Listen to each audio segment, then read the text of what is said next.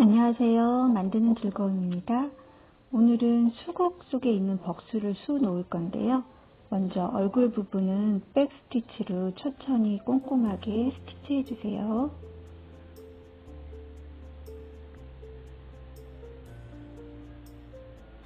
스티치 할 때 먼저 나왔던 부분에 그 구멍에 똑같이 스티치를 넣어주면 좀더 깨끗하게 백 스티치가 표현됩니다.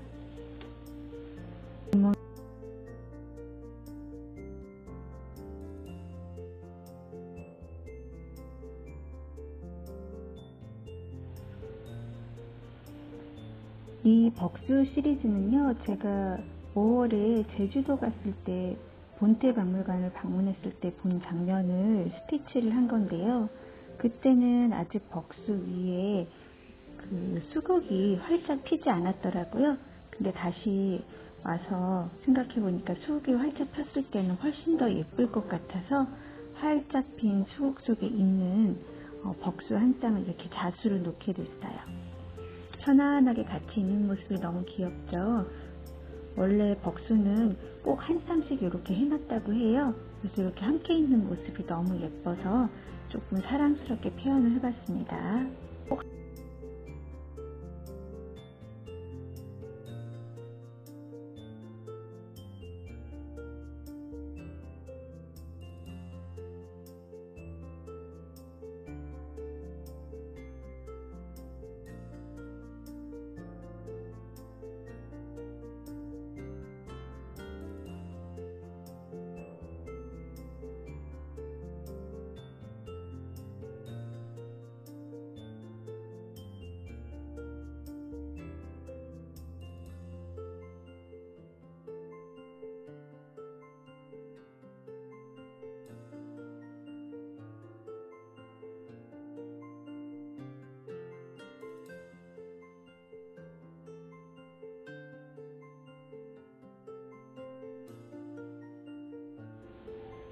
요 가운데 홀 부분은 세틴 스티치로 이제 검정색으로 다 이제 막아서 표현했는데요. 요거는 수보강형을 비는 뜻이 있는 거를 이렇게 들고 있었다 그래요. 그래서 저는 다 올 블랙으로 스티치했기 때문에 가운데 부분은 조금 면을 채우고 싶어서 세틴 스티치로 표현했습니다.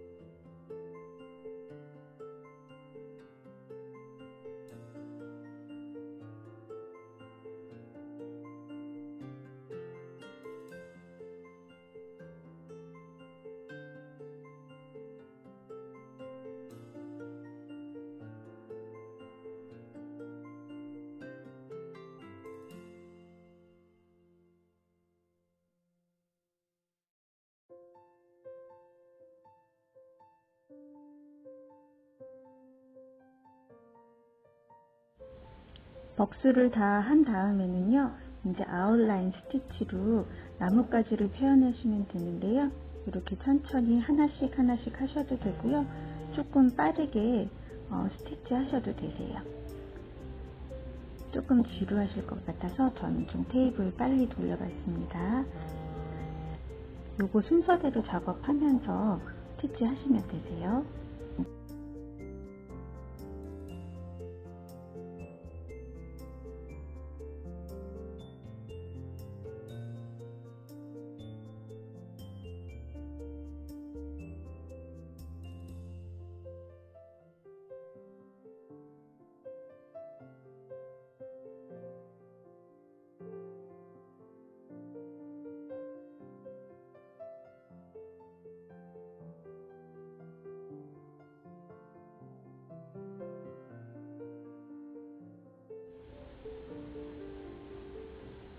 이제 나뭇잎 스티치를 할 건데요.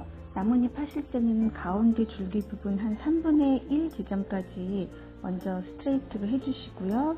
그 다음에 그 아래를 따라서 서로 이제 크로스가 되게 스티치를 해주시면 되세요. 그러면 훨씬 더 예쁘게 스티치가 됩니다. 천천히 한번 따라해 보세요. 그리고 나뭇잎은 제가 세 가지 컬러를 사용했는데요. 조금 연한 초록잎에서 약간 짙은 초록잎으로 여기저기 좀 분산되게 사용을 했기 때문에 나중에 완성했을 때 훨씬 더 예쁘게 보일 수 있어요.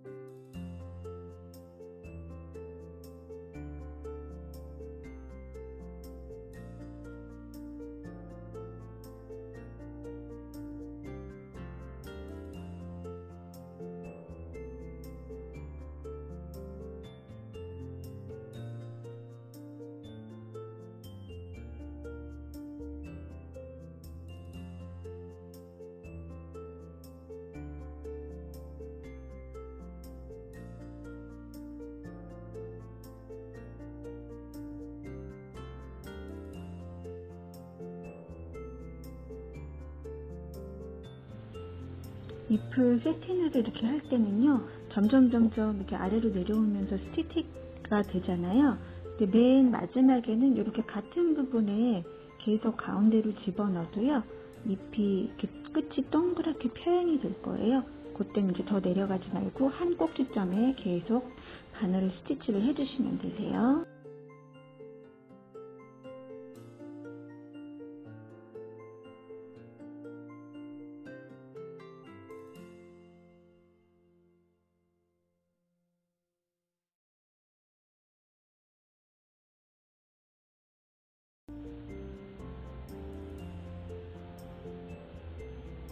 이제 수국꽃을 놓을 건데요.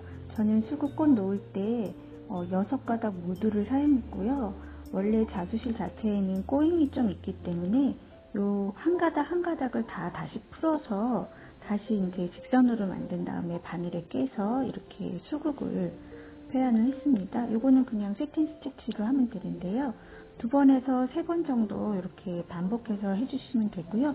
꽃이 약간 풍성한 느낌이 들게 해주시면 되세요. 꼬임이 없이 그대로 실 가닥이 들어간 게 표현되는 게 훨씬 심플하면서 예쁜 꽃이 나오거든요. 꼬임이 없게 보여야지 훨씬 예쁘게 됩니다.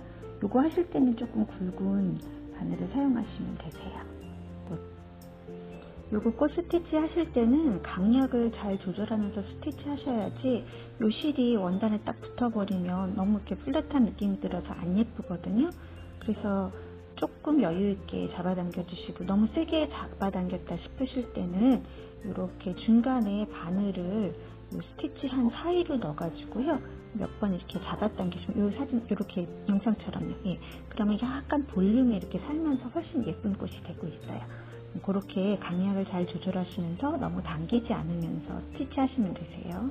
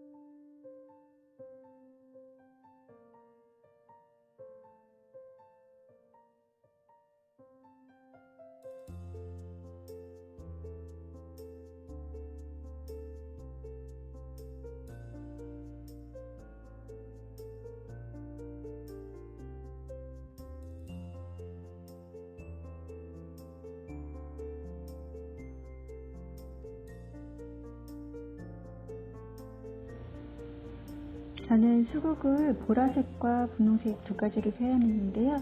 이제 보라색 스티치 다 마치고 분홍색 표현하고 있거든요. 이게 다 채워져 가면서 여러분들 따라 하실 때 되게 예쁘다는 생각 드실 거예요.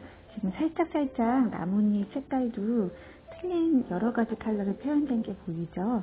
한번 천천히 해보세요.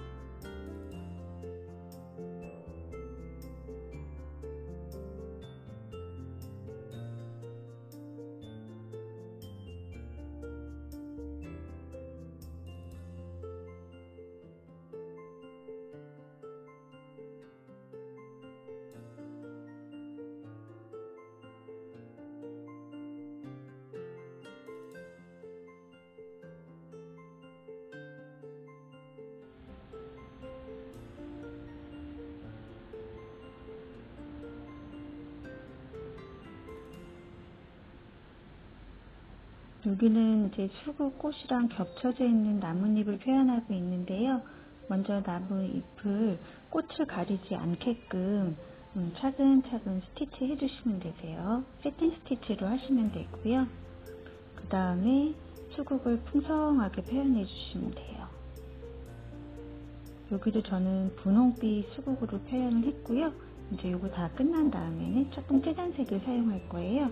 이렇게 진한 색과 조금 음, 연한 색이 같이 표현돼야 예쁘거든요.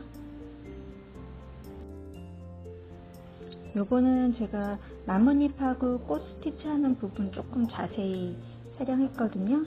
이렇게 요 사이사이를 잘 메꿔주시면 예쁘게 작업이 됩니다. 여기 작업할 때는 이렇게 조금 유의해서 작업해 주시면 되세요.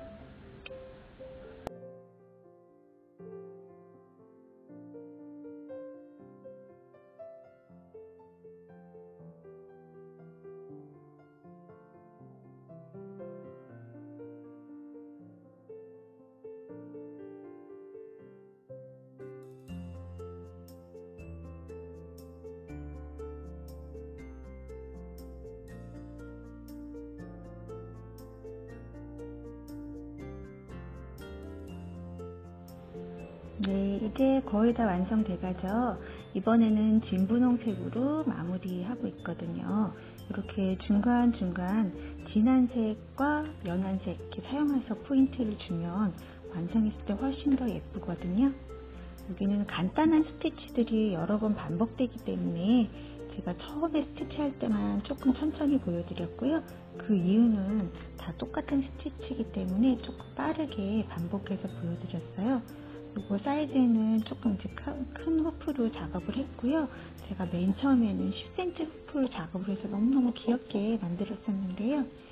조금 더 큰 거를 또 원하시는 분들도 계셔서 다시 크게 작업을 했어요. 그리고 이제 작은 사이즈 주문하시는 분들은 요거 꽃 자주 하실 때 어, 세 가닥으로 작업하시면 되세요. 요거는 후프 자체가 크기 때문에 제가 여섯 가닥으로 작업을 했고요. 작은 거는 꽃만 세 가닥 그 작업하시면 됩니다.